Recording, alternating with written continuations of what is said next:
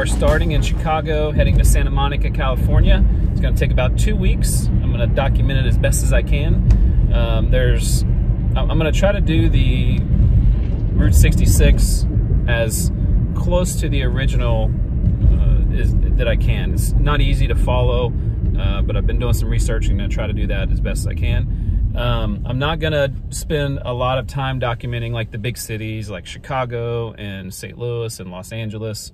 Uh, I'm going to focus on the small towns and the unique things in those places and um, and then some of the towns that aren't there anymore. Some of the, you call them ghost towns and towns that you know, during the Route 66, you know, heyday, they were, you know, popular or they had things there. And then as the highways were built, the big, big highways across America and people didn't go on Route 66 anymore, that uh, those towns kind of disappeared. So I'm interested to see those things. It's the ultimate road trip. They call it the mother road. So I guess you could call it the mother of all road trips.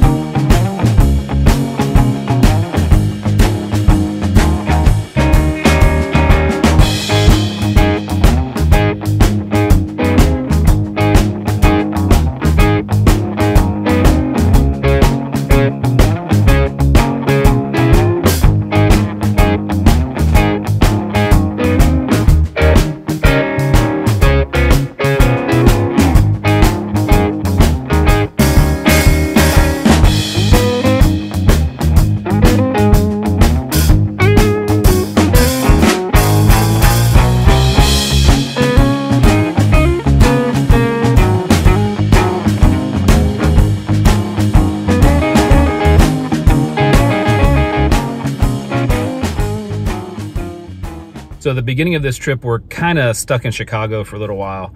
Um, so I've heard that once you get past Joliet, Illinois, that it kind of becomes a little more like what you think of Route 66. So bear with me here through the early parts of uh, the trip, and then we'll be getting out more on the open road.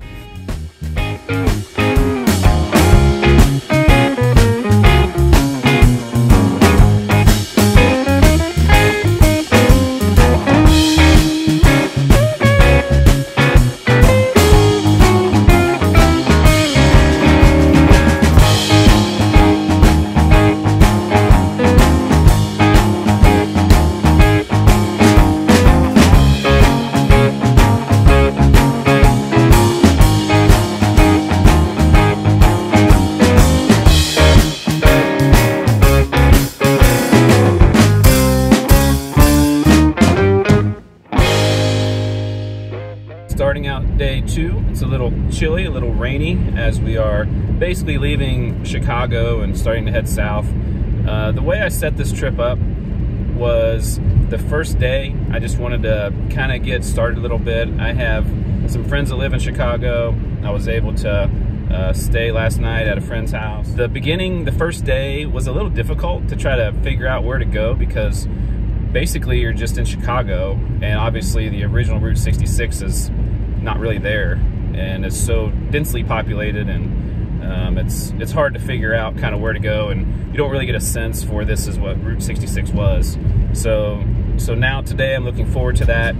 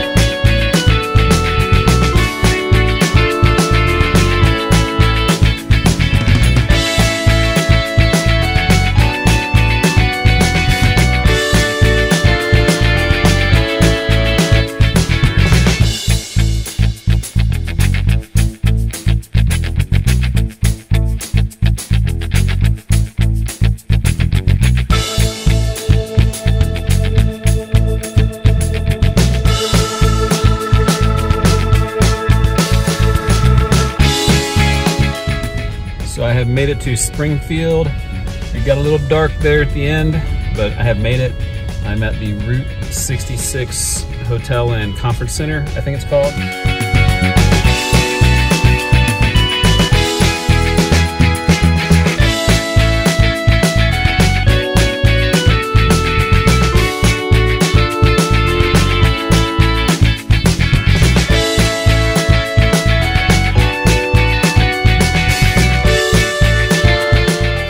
Day two, done, Route 66.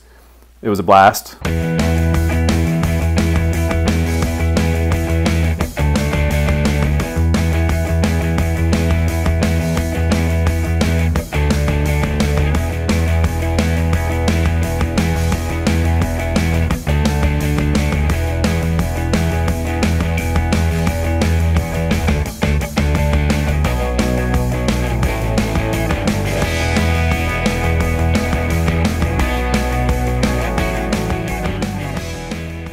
There's a few places along Route 66 where there's two different ways you can go. One is a older original way, and then one is a newer way, you know, from like the 1940s or something like that. So um, south of Springfield, there's this decision where you have to kind of go. So what I'm going to do is I'm going to go the newer version first, and then I'm going to backtrack about 50 miles and then hit the older version because I want to go to every part that I can